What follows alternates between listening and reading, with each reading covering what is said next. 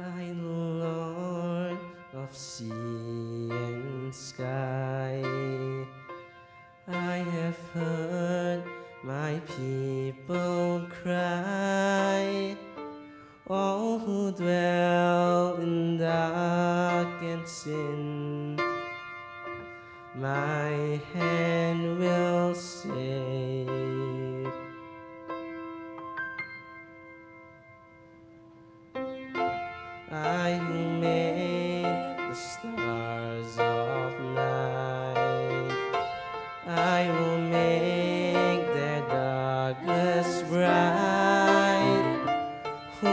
bed.